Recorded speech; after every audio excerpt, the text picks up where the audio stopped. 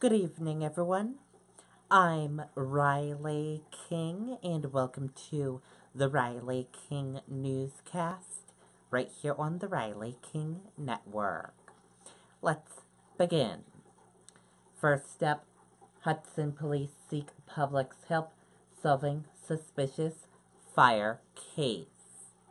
Let's take a listen to the video from WMUR News 9, Ray Brewer.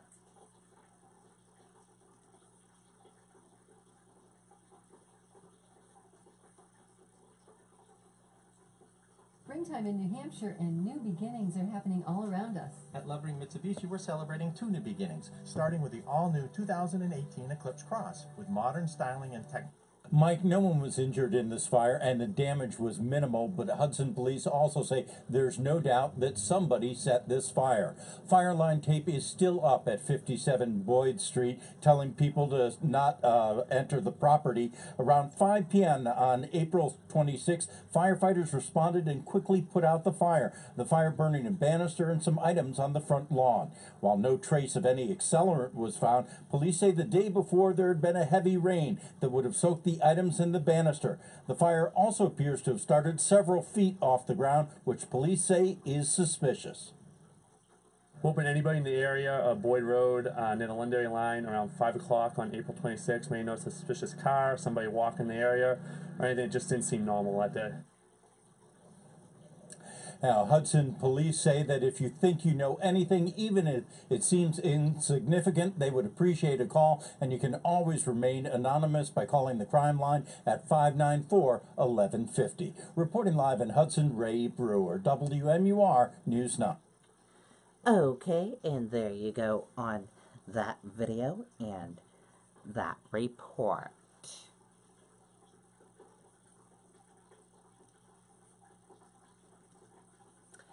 Man stabbed to death in broad daylight in Boston.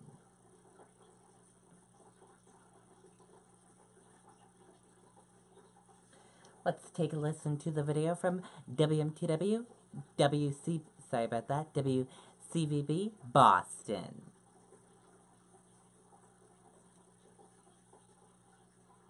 Join us at the Hunt 17th Annual Imaging Expo and Sale, May 11th and 12th, Melrose, Massachusetts. Let's go have a look at what we do at this show. All our manufacturers will be here with event pricing and ex- Emily, witnesses say the stabbing happened just on the other side of a blue dumpster. You see it there. As you can see, police and a cleanup crew on scene right now, four hours after this fatal stabbing. Police were called to the area of 112 Southampton Street, which is a homeless shelter. The victim was a resident of the shelter, according to an employee who spoke on the condition of anonymity. And now a homicide investigation is underway after the man was stabbed to death and started bleeding out in the street. First one on site was our walk-in beat here, who uh, seen a male in his early 50s suffering from a leg wound. Um, he, he rendered first aid. They got him off to BMC, and unfortunately, he was declared deceased. I just seen him three days ago. He had a black eye. He sleeps in the shelter. He's he's an addict like all of us, and then this happened. He was a good man. He was a God-fearing man. At this point, police have not made any arrests. They're asking for the public's help. There's no official word on a motive, but several witnesses say this is all about drug money. The victim's name has not been released. Reporting live in Boston, Todd Kazakiewich, WCVB News Center 5. Police. Okay, and there you go on that video and that report.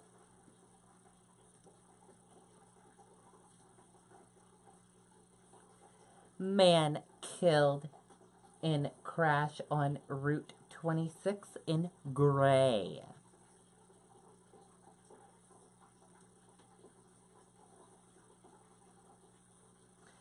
A 72 year old man from Wells was killed in a crash on Route 26 in Gray Tuesday morning, according to the Cumberland County Sheriff's Office. The crash was reported about 7:30 a.m. near the intersection of Route 26 and Mayberry Road. Deputies said the car, Richard Sok was driving went off the road and hit a tree. He was pronounced dead at the scene, officials said.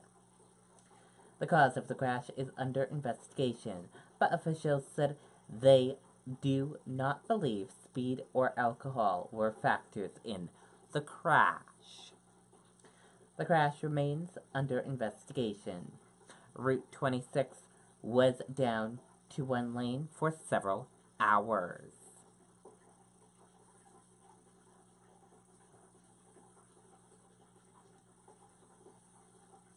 And now let's take a look at your U.S. stock market and see how your U.S. stock market closed for this Tuesday evening.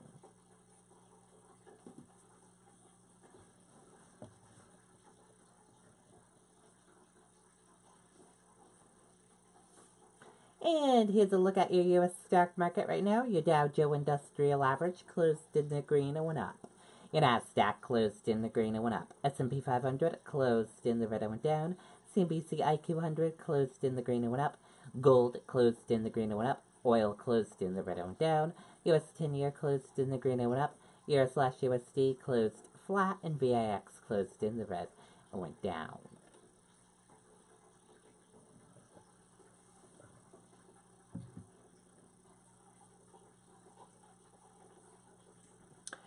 Stocks close little changed after Trump decision to pull U.S. from Iran nuclear deal.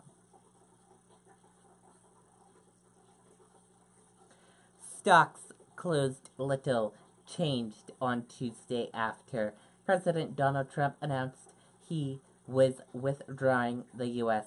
from the Iran nuclear deal signed three years ago.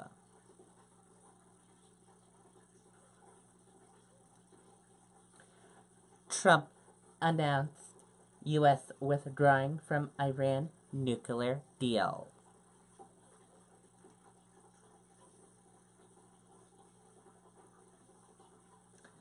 Let's take a listen to the video from ABC News.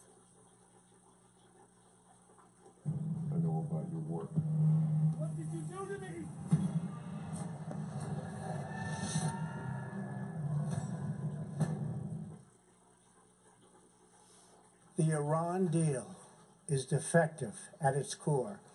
If we do nothing, we know exactly what will happen. In just a short period of time, the world's leading state sponsor of terror will be on the cusp of acquiring the world's most dangerous weapons. Therefore, I am announcing today that the United States will withdraw from the Iran nuclear deal. In a few moments, I will sign a presidential memorandum to begin reinstating U.S. nuclear sanctions on the Iranian regime. We will be instituting the highest level of economic sanction. Any nation that helps Iran in its quest for nuclear weapons could also be strongly sanctioned by the United States. America will not be held hostage to nuclear blackmail. We will not allow American cities to be threatened with destruction, and we will not allow a regime that chants death to America to gain access to the most deadly weapons on earth. Today's action sends a critical message. The United States no longer makes empty threats. When I make promises, I keep them.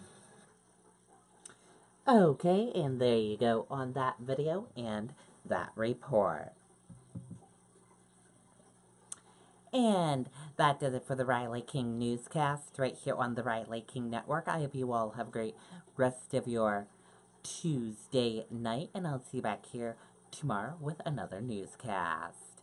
And I'll have a news report later on this evening. Good night, everyone. Bye.